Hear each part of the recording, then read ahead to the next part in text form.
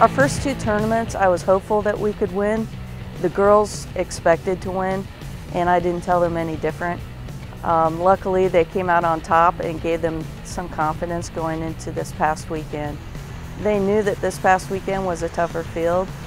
Um, they kind of had their hopes up that they would play their best, but even sometimes when you play your best, you can't win a tournament. So you just have to concentrate on yourselves. And I feel like the second round was evident of that. Um, they were just blind to what everyone else was doing and what they were shooting and shot a very good score. Third day, I think they were just tired.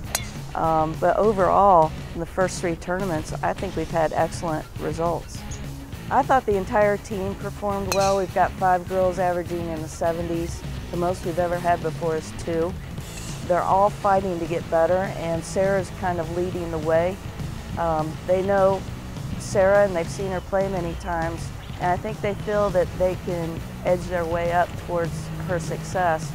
Um, they just have to keep working at it, and they've all got that group attitude now that uh, if they work harder, they're going to get better and they're seeing the results of that. So um, I was very pleased with the entire team's performance.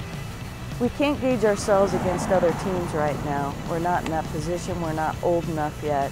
The fall season is really for the, the girls to learn and to learn how to win and um, adjust to their circumstances. So we have to attack the record book right now and it shows them how well they're doing without having to look on the scoreboard and seeing how they compare to other teams.